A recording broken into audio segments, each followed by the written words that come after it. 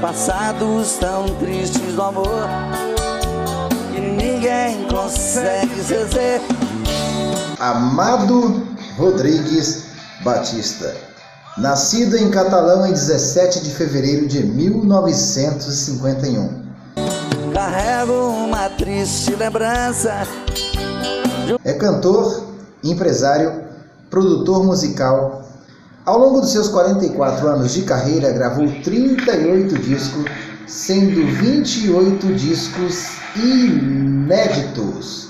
Vendeu mais de 38 milhões de discos.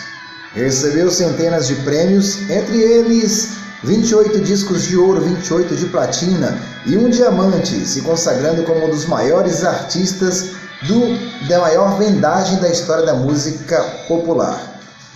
Proprietário da Rádio Amor também, a FM 103.7 de Anápolis, Goiás.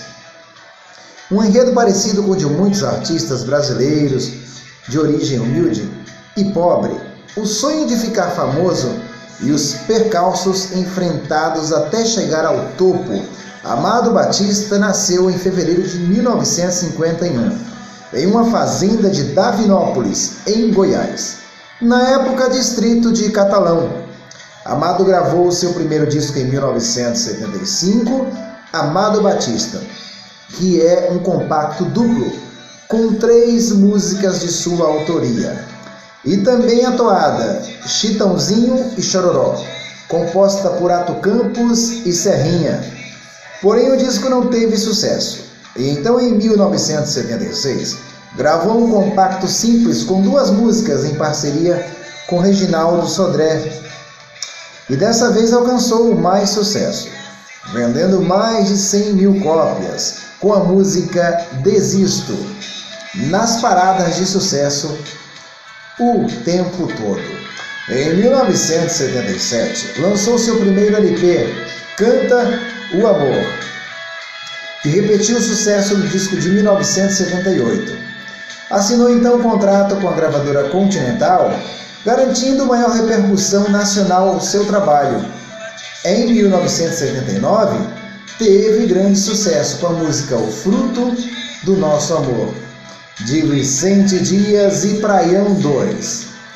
Com um simples repertório basicamente romântico, fez em seus trabalhos uma fusão da jovem guarda com modas de viola, passando por referências a Elvis Presley e aos Beatles. Com mais de 20 anos de carreira, tornou-se um dos maiores vendedores de disco da música popular brasileira.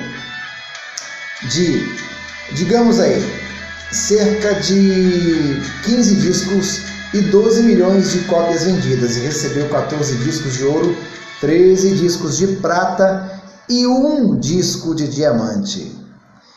Gente, essa aqui a gente falou um pouco do começo da carreira de Amado Batista, que é uma das grandes referências nacionais da música brasileira, que se enquadra tanto na música romântica como na música popular e na música sertaneja também. Aonde encaixamos Amado Batista, ele se encaixa em todos esses artistas, em todos esses ritmos.